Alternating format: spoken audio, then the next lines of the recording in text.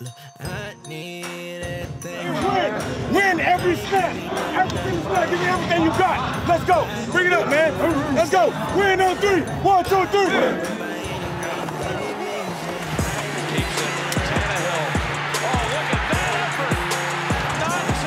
Denied.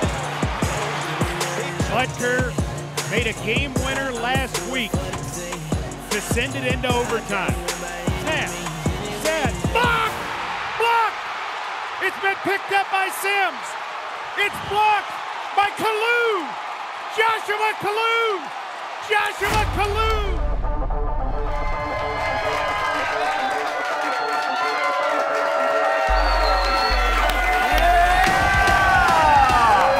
Listen to that crowd right there. Welcome one and all to the Titans Blitz presented by Farm Bureau Health Plans. I am Lance Smith. Ladies and gentlemen, this is the legend Eddie George. There it is. There it is. It is. It's gonna be Thank a you. good show when you hear that. Yes, oh man, we must have won. Yeah. Yes.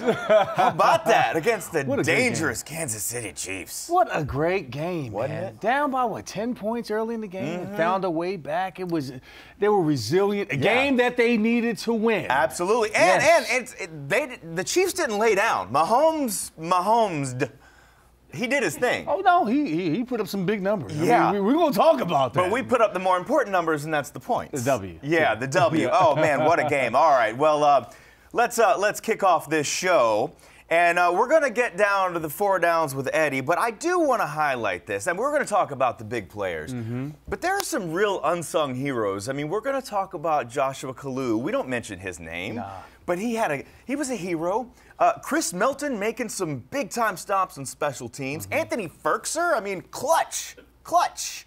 Man, these guys are. This team is really coming together. No, it, really is. I mean, it was a, complete team win, Mm-hmm. and the guys that you just named, they, you don't hear about them a lot. They're not going to have their names in the, in the press. You're not going to be on ESPN. You're not going to get the call from Deion on, on NFL Network. Get the call, right. right, Right. Uh, but but certainly all their effort and all the plays that they made in last week's game went toward a big win that they needed, and, and you could sense the sense of urgency that they Yeah. came out with. Even though they fell behind early, they they chopped their way at it. They Yeah. stayed consistent. They stayed with the game plan, not just with the team, but also in the coaching staff, and not deviating and panicking and, Yeah. and trying to throw the ball over the all over the yard. They, st- they stuck with the game plan and it paid off dividends for them. Let's uh, let's break it down. Four downs with Eddie. Uh, First down, here we go. Uh, we've been talking about him all season, and we'll continue to.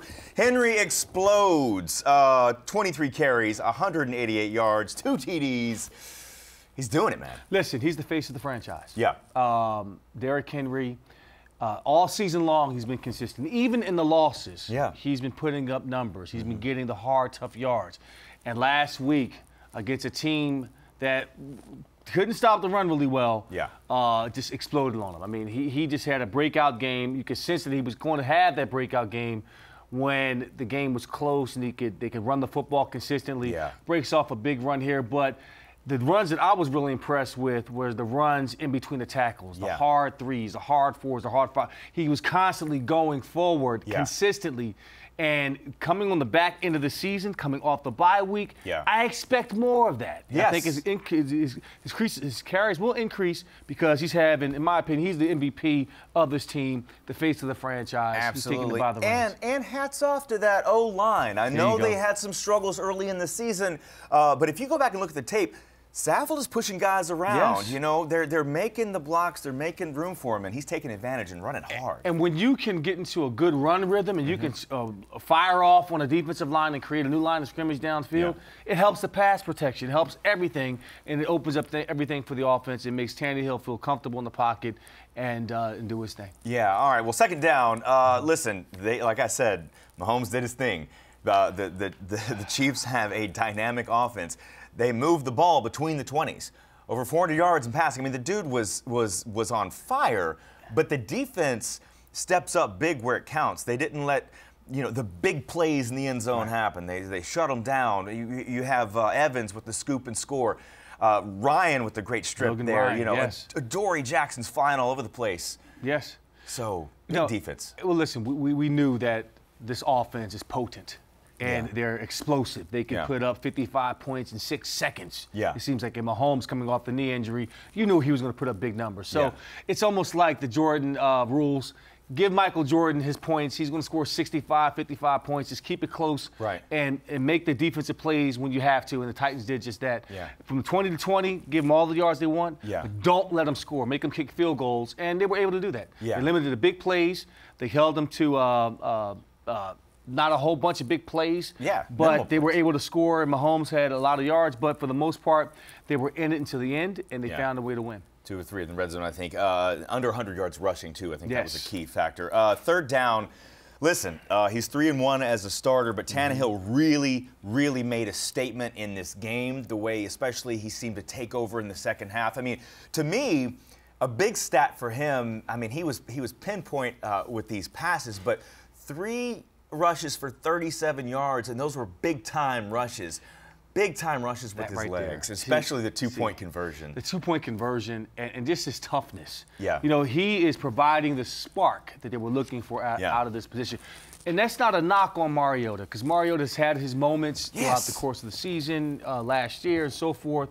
But what they need right now, he's giving that to him. Uh, look at that hard, tough run. Right when you see your quarterback doing that, Yes, right that here. Just, that Look, attitude. This look looks like you in the Super Bowl. that- yes, Yeah. exactly. I mean, look at him. Standing over the uh, over the defender. I mean, that's when you see your quarterback do that, lower his head and shoulder into the into the defender Yeah. and drive for a touchdown. And push it through. I mean, that's what you want, and God, and that energy just permeates and explodes into the rest of your team, and it uplifts you. and you can see level. it. You can see it. I love it. All right. Well, we aren't going to spend a lot of time on this. Uh, it's an easy statement right here. The crowd was a factor. Let me hear you. Yeah. So the red. There was a lot of red, a lot of Chiefs fans, but man, you guys were nice and loud where you needed to be, especially on those third downs. Uh, the the the botched, the first botched field goal snap, the crowd was a factor.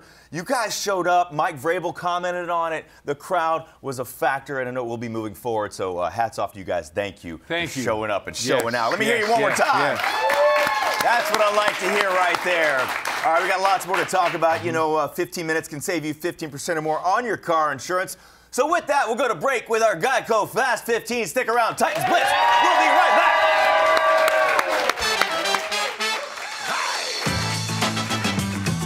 Run Henry. Finds room up the middle. He's to the 35 to the 40. Midfield. 40, 30, 20, 10, 5. Touchdown! Titans! Tannehill. Firing over the middle. Caught. Humphries 5. Humphries touchdown! Titans! Tannehill keeping around right in. Driving. He's in!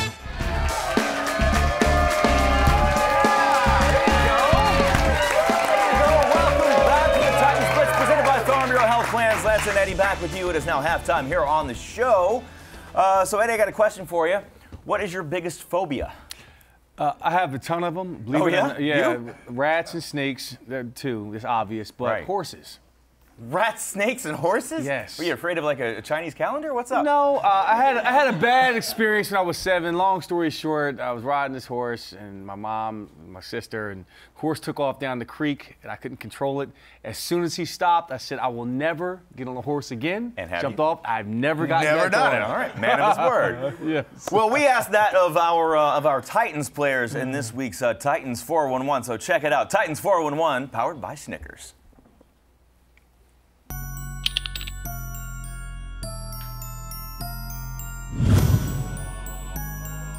Being left in the jungle, something like that.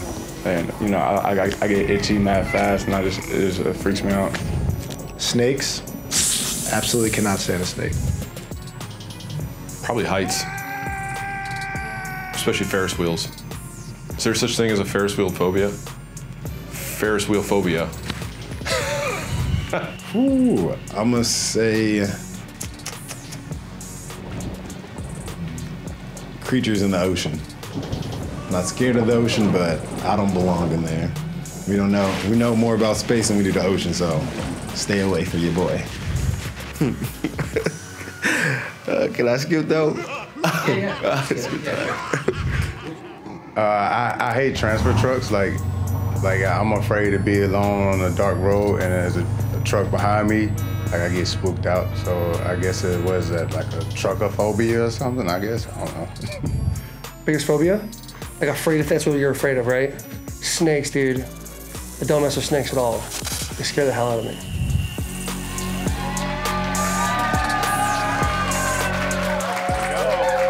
Got a horse back there. Got a horse back there. All right. Well, uh, moving on, getting to know uh, more of our players. But you, you look you look sharp tonight. Another guy that likes to look sharp. Uh, our left guard, Roger Saffold, got to hook up with a legendary designer here in Nashville and got a look that is so very Nashville. You know, look sharp on the road. I got you. Check this out.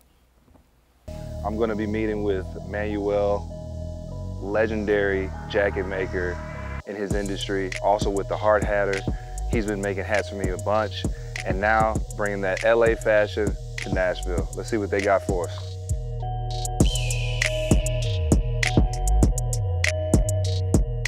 Manuel is a legend. Uh, he's, he's done pieces for all types of pop stars, including Michael Jackson, uh, Willie Nelson, Johnny Cash. I mean, the list just goes on and on.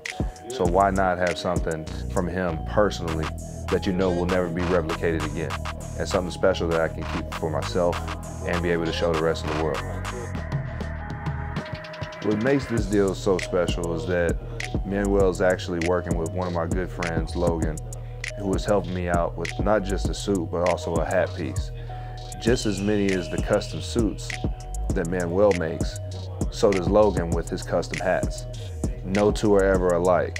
So this is really a special collaboration between those two, and of course, is for me. So getting to work with Roger, he's has some of the coolest style in the world. He's so fun, he's so outgoing, great, great husband, great father. So just to be able to work with somebody like that, for me, is really awesome. You know, he's coming to Nashville. He wants to represent Nashville. Not only the Titans, but the Titans Nashville. And to me, that's pretty darn cool. All right, guys, the suit is done. I haven't seen it yet, haven't seen the suit or the hat, but now it's time to go in, check it out, get all fit and ready for Sunday. All right, okay. Oh, snap. This is next level. Man, this is supreme, man.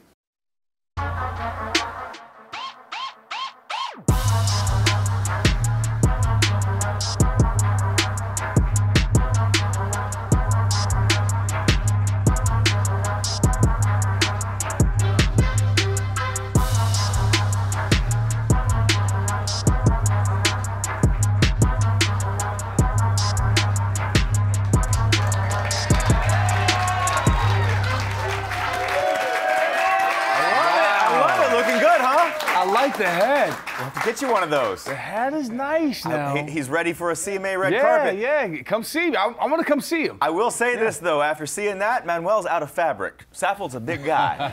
All right, we got uh, we got some mid-season grades coming up. Stick around. We got more Titans Blitz on the other side. Be right back.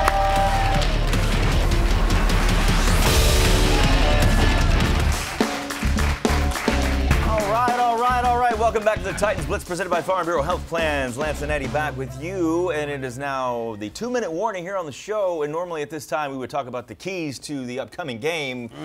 The upcoming game is on the couch. Yes, watching chilling. the, watching the Ravens beat the Texans. Uh, yeah, yeah. Uh, but right now, let's hand out some uh, some mid-season grades, I Yes. guess, if we will, and let's talk about uh, each phase of the game here. So first up, we'll talk about the uh, special teams leader of the team. Who do you think is doing the best on special teams? Oh, without a question, Kern. Kern, right? I mean, Brett he's, Kern. he's a punter. Let's I mean, he's just been fantastic. Right? Yeah, so Brett Kern, I mean, we, we've been talking about him all season, talking about our punter, but yeah, he, he changes the field for you. He's the coffin corner, you He name can, any any type of uh, it's like me on the golf course. Just like you I, on when the I golf can, course, I can right? the fade, I can hit the draw, the low drive, I can hit it low. But no, he's been fantastic all season long, like you mentioned. Uh, just just really changing the, the field. Uh, strong leg. Right. Um, I, I think I said early in the year, you know, he should be up for MVP. Yeah, I mean, he even sacrificed his body on a on a fourth down uh, against the Bucs. Right, so, right, right. You know, the more you can do. yeah, the more you can do. Uh, but no, it is it is. You just can't talk about it enough in terms of field position Yeah. and what, how he sets it up for our defense. Our Yeah. defense is playing phenomenal a lot because of what he's doing. Yeah, and punters typically are underappreciated Yeah. and never un- and totally underrated until you really need them to flip the field. But he's been fantastic. He's a superstar. Yeah. All right. Let's move on to the offensive side of the ball. Uh, you know, we we mentioned it already. You got it. We got to go with Henry, right? I, without without a doubt. Right. I mean, Big Henry. I mean, King Henry has just been phenomenal um, all season long. Big breakout game. Yeah. I mean, listen, the kid, you gets out in space like this. No one is going to catch him. Yeah. He Eh. breaks angles at six foot four, 250 pounds, and he's able to you know, do that inside the uh, in between the tackles. You know, I- just- yeah, his footwork to me has really improved this year as well. He's got 832 yards on the season so far. He's on track for 1,331 yards. Last year he had uh, just over a thousand, so Yeah. he's having his best season. Best season. Yeah, uh, eight touchdowns to go with that. And also, too, uh, hats off to Tannehill for his uh, what he's done in his four games. That's been the spark. Yeah. So, but yeah, 10 for 10 in the red zone. 10 for 10 in the red Yeah, zone. you gave me that nugget, Efficient. yeah, Uh, moving on. All right, defensive uh, side of the ball. Who, you- who you like on defense? I mean, you can pick a guy. Logan Yeah. Ryan. That's my guy. I mean, yes, you do. Now, Logan's having an all-pro season, in my opinion. Yes. But the kid that I want to talk about is Jeffery El Jefe. Oh, okay. Simmons. You're all about you're all about El Jefe. He's Albert Haynesworth 2.0. Okay. Because to come off of a, of a, of a knee ACL? injury, Yeah. ACL, not have a preseason, not have uh, four or five games to really find his sea legs, coming in and dominating on, I, I want to say he's not 100%, probably more Right. like 80 right now. But he's still figuring it He's out. He's a with the team. baby. Yeah. He's a baby doing that to grow. that's a big Wait until he figures the game out. Yeah. El Jefe. Yeah. He's he's going to be He is. a staple for years to come in this defense. I think he'll be the face of the franchise or that defense in the next two to three years. Uh, but for real, getting back to Logan Yeah. Mm-hmm. Ryan though, playing slot corner, he's got three and a half sacks, three interceptions, but how many passes defended? He's all He's over all the over the field, place. all over the field. I mean, and he's baiting. I like to watch him bait quarterbacks because he gives a lot of space and then and then makes up that ground. And such a leader back there for the And, rest and of the And just to think a couple seasons ago that he was kind of on the bubble. He might be here, he might not be here, but really has solidified his position as the leader of this defense. Uh, he's done, been there, done it in New England. Won a Super Bowl or two, so he knows Mm-hmm. Yeah. how to prepare. He knows what a, a, a championship product looks like. Yeah. Um, he's been a professional through and through, both on and off the field. He's one of my favorite people, Yeah. but certainly one of my favorite Titans in the defense. So glad he's Absolutely. excited and love you, Logan Ryan. All Yes, right, sir. well, uh, we got uh, one more hero we want to talk about on the other side. Don't go away, Titans Blitz. We'll be right back.